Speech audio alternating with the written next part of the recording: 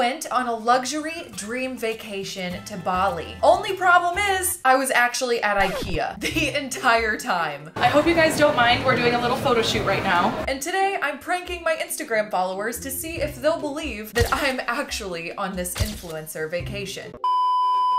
What's up guys? It's your girl NT here and that stands for Natalia Taylor. Welcome back to my channel. If you're new here, don't forget to subscribe and turn on the bell icon if you'd like to get that notification every single time I post. I upload a new video every Monday and occasionally on Fridays if I feel like it. Ah yes, Indonesia. A gorgeous getaway full of tropical paradise and exotic photo opportunities. The perfect place to totally fake an influencer vacation and lie to all of my followers.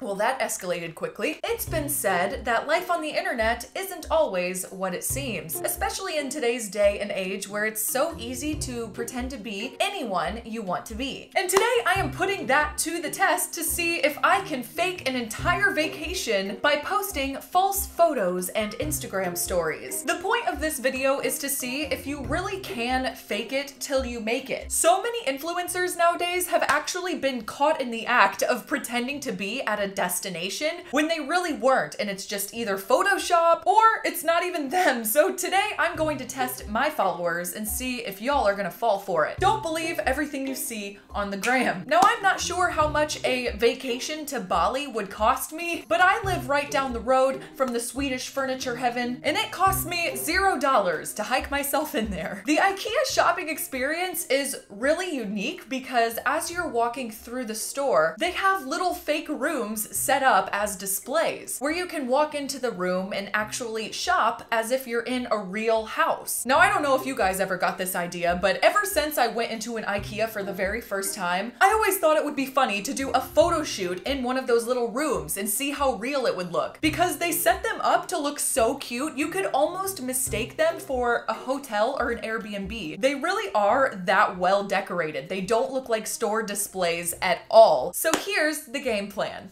Got dressed up in hair, makeup, wardrobe, everything, and called over my trusted photographer, Ali Amadeo. We're gonna go into IKEA together and see how many pictures we can take in the little furniture displays, either before we get kicked out or before it gets a little too awkward for our own good. And we're gonna try and vlog it the entire time. And as soon as we walked in, there it was. The perfect first display.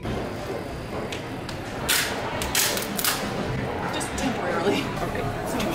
As soon as we got started, it definitely got awkward because the other customers were taking notice, all right? Let me see it. Let me see it. Oh my god. These are beautiful. These are good. Oh my gosh, these are so good. And we finally got the first shot in Bali, IKEA. Oh my god. We've done it. We've done it. Pretty damn convincing. But if you look closely, you might be able to tell in the reflection of the mirror, something's uh, kinda off here. But hopefully no one sees that. So we moved on to a few other locations. And now I can't lie to you guys, I'm usually pretty good at doing photo shoots in public, but stores, it gets really nerve wracking. It's super awkward. There's other customers staring at you, wondering what you're doing. You're trying to like avoid interrupting people's shopping experience. I hope you guys don't mind. We're doing a little photo shoot right now. No, you're not in the way. You're not in the way. Pretend we're not even here. But most of all, you just don't want to get caught by anyone that works there. That's the golden rule of shooting in stores. Don't get caught or else you will get kicked out. Do we get it? Dude, these are sick. Yeah. Oh my god, those are good. Now, as we were stopping at each one, I also got Instagram story footage. That way I can post on my Instagram story like a video of the room as if I was actually there, just to make it seem a little more real. We gotta go to the bathtub. That's our spot, the bathtub.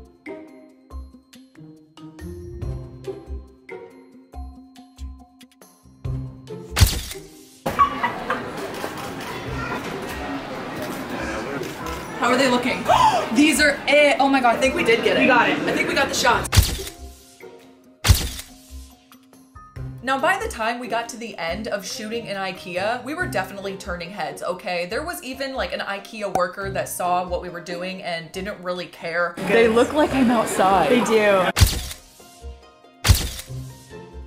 So we wrapped up our photo shoot at IKEA. We didn't really cause too much of a scene, didn't get kicked out, and went home to start photoshopping the final images. Now, I told Allie to intentionally leave in a few of the IKEA tags. If you look close at some of the images, you'll be able to see little IKEA things in there because I wanted to leave some Easter eggs in there for any of my followers that are a little too smart for this challenge. And now, it's time to go on vacation, baby. So my tactic today for posting this IKEA vacation is to upload Instagram stories first because it needs to be believable, okay? The timeline needs to be that I'm getting ready to get on the plane and then I'm on the plane and I'm landing at the airport. I literally took pictures and videos from the internet for this. I looked up hashtag Bali and I found it and used it. Now I know that's not right, but the point of this video is to show how easy it is to trick people into thinking you're someone you're not. So for today's sake, we're doing it. And immediately people started buying it, especially my close friends. I actually had one of my friends that's been to Indonesia send me his actual Snapchats of his trip so that I could reuse them for my own. This is so messed up. Oh my gosh, I'm sorry guys. And I was even super sneaky because if you remember from my last video, I mentioned that I got this new pink dress for a vacation that I was going on. I need to find a new dress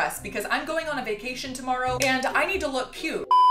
So for anyone that remembers me saying that, they're really going to believe this. So now that it finally looks like I'm in my Airbnb in Bali, I'm going to post the first round of photos on my Instagram and see what the comments say. You can totally tell in the second one if you look closely. Yeah, we're just gonna ignore that. The queen has arrived. Just adding the location. Hashtag Bali. I'm about to post it. Oh my gosh. Oh, this is so nerve wracking. No one ever tells you how like nervous this makes you feel because I have such a close trust with my followers. I never want to break that trust. So this is really hard for me. Oh my God.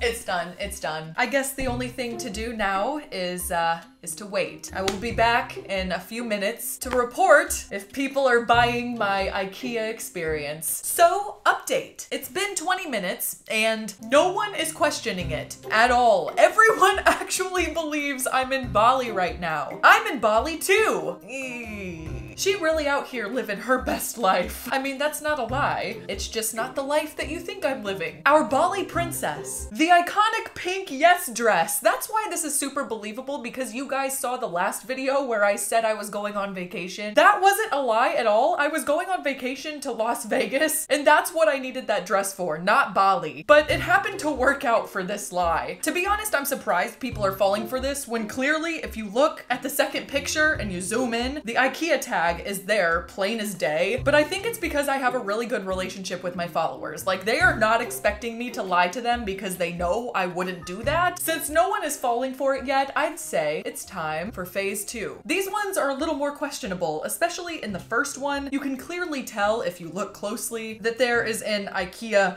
iPad in the background, along with a tag that if you zoom in far enough, you can actually tell it says IKEA. A little more conspicuous, and we're pairing it with the indoor-outdoor shots that I feel like people are gonna start catching on to now, okay? You look at this, are you kidding me? It's actually drywall behind me. That, that looks nothing like a patio. I don't know who I'm kidding. I think you can tell that these were not taken outside, okay? First of all, they look like they're taken at night when it's literally seven in the morning in Bali right now. But oh well, we're just gonna have to go with it. Let's just hope that no one notices. Tea isn't the only thing I drink, and it's done. Okay, there's no going back now. I have to wait another few minutes, and we'll be back to see what people are saying if they're still buying it. IKEA, or Indonesia. And it has been another 10 minutes, okay? And people are still buying it. I'm going to my comments and I just see heart eyes everywhere, with the exception of one extremely observant follower of mine. Me analyzing Natalia's pics to see if there's any Photoshop. Now, she could have said that for any number of reasons. It might not be because she thinks I'm in Ikea, but still, someone's starting to catch on now because it's kind of out of character for me to post this much on Instagram. I normally post like once a week, twice a week at the most. So three times in one day is kind of a red flag to you guys. Maybe it's just me, but it seems like painfully obvious that I'm not in Bali. I'm not even posting any of the iconic Bali photos of me on the beach or in exotic locations, and I'm getting away with it. That's insane. I can't believe you guys trust me that much. I really love you. I appreciate you for not putting me into question when maybe you should, for today at least, because this could be happening all the time. Like, I'm starting to question everything and everyone right now. But we have to move on to phase three, the bathroom pics, and in my opinion, the most non-believable ones. It screams IKEA. We all recognize that bridge picture in the background. That's from Sweden, not Indonesia. My cousin just messaged me. Where should I travel to next. Comment and maybe I will. And when I say maybe I will, what I really mean is I'll just run down to the Ashley furniture next. Yeah,